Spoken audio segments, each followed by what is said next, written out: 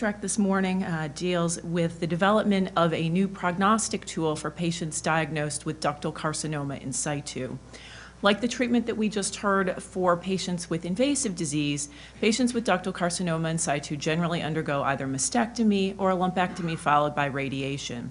However, as, as mammograms pick up more and more ductal carcinoma in situ, there has been a question whether all patients diagnosed with this disease require such invasive therapies. Um, especially in regards to the radiation. And several reports in the past have tried to detect a group of patients who have a low enough risk of an in-breast recurrence that radiation could be omitted. So far, we have not been able to identify clinical characteristics uh, of patients who are at low enough risk of recurrence that they can avoid radiation. But here today to discuss their work on their topic, on this topic is Dr. Lawrence Solin, the chair of the radiation uh, oncology department at the Einstein Medical Center in Philadelphia. Dr. Solin.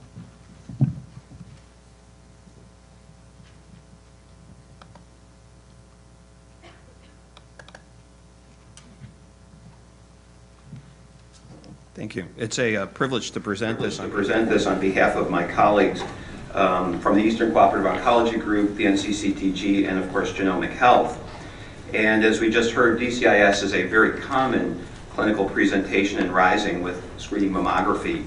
Um, DCIS, as you all know, is an early uh, stage zero or non-invasive uh, cancer which is confined to the milk ducts. And we have about 45,000 new cases yearly in the United States, so it's a very common problem. It typically presents in the asymptomatic patient on screening mammography. Unfortunately, most patients can undergo breast conservation surgery.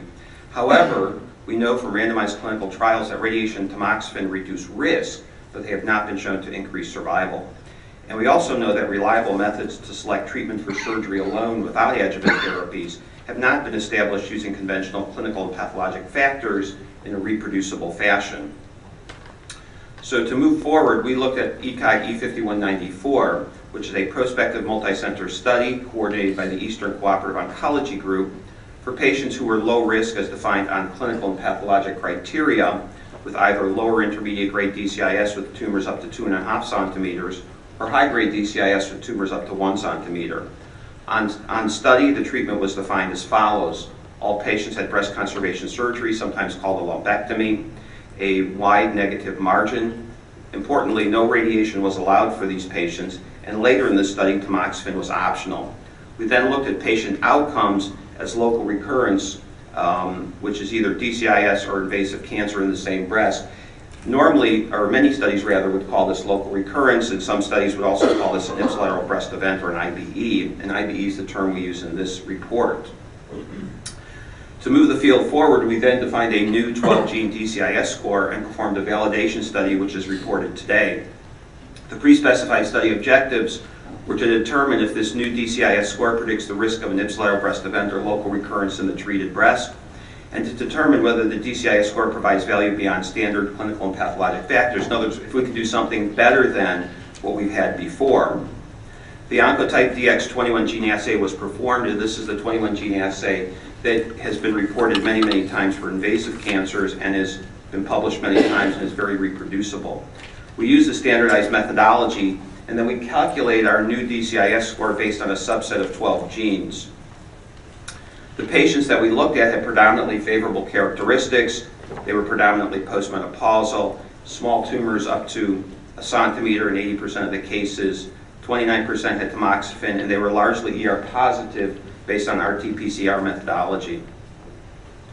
This slide shows the DCIS score and the ipsilateral breast events according to the three pre-specified risk groups of low, intermediate, and high. On the left panel, you can see that local recurrence is very nicely um, stratified according to low and blue, green and intermediate, and red and high, showing a very high differentiation based on the new DCIS score with the log-rank p-value of 0.02. On the right, we did a similar analysis restricted to invasive local recurrences. And again, we find a very nice gradient between low, intermediate, and high with a log-rank p-value of 0.01. So in summary, the DCIS score is a very significant and very strong predictor of local recurrence or invasive local recurrence. And of importance, about three quarters of the patients are found to be in the low risk group, which is actually good because that means they're at very low risk for local recurrence and invasive local recurrence.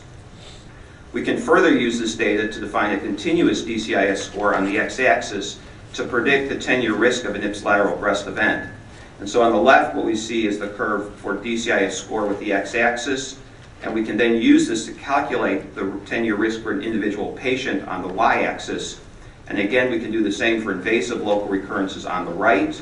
These are both, of course, statistically significant. Now, the way this is going to work in clinical practice is we take an individual tumor for an individual patient, we send it, it gets analyzed, a DCS score gets calculated for that specific patient, and then we use that information to predict that patient's risk of local recurrence and invasive local recurrence.